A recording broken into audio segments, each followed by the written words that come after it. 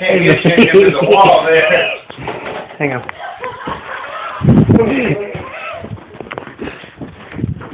The underwear guy.